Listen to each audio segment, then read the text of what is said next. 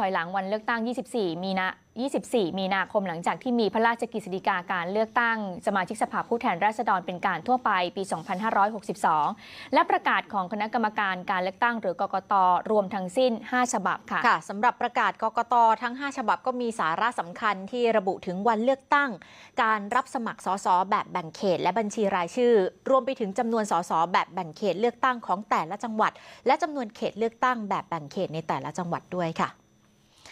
เว็บไซต์ราชกิจจานุเบกษาเผยแพร่ประกาศคณะกรรมการการเลือกตั้ง 5 ฉบับ คือประกาศกำหนดวันเลือกตั้งสส วันรับสมัครรับเลือกตั้งสส แบบแบ่งเขต และสถานที่ที่พักการเมืองจะส่งบัญชีรายชื่อ ผู้สมัครรับเลือกตั้งแบบบัญชีรายชื่อ โดยให้มีการเลือกตั้งสส วันอาทิตย์ที่ 24 มีนาคม 2562 ผู้ประสงค์จะสมัครรับเลือกตั้งสสแบบแบ่งเขตเลือกตั้งในเขตเลือกตั้งใด ให้ยื่นใบสมัครพร้อมเอกสารหลักฐานต่อผู้อำนวยการการเลือกตั้งประจำเขตเลือกตั้ง ระหว่างวันที่ 4 ถึง 8 กุมภาพันธ์ ณสถานที่ที่ผู้อำนวยการการเลือกตั้งประจำเขตเลือกตั้งกำหนด ส่วนพักการเมืองให้ยื่นบัญชีรายชื่อผู้สมัครรับเลือกตั้งสสแบบบัญชีรายชื่อ ที่สำนักงงานกกตแจ้งวัฒนะ ประกาศกกตฉบับที่ 2 เรื่องจำนวนสสแบบแบ่งเขตเลือกตั้ง ที่แต่ละจังหวัดจะพึงมี และจำนวนเขตเลือกตั้ง แบบแบ่งเขตเลือกตั้งของแต่ละจังหวัด โดยราษฎรทั่วราชอาณาจักรณวันที่ 31 ธันวาคม 2560 มีจำนวน 66ล้าน188,503 คน และจำนวนราษฎรโดยเฉลี่ย 189,110 คนต่อสส1คน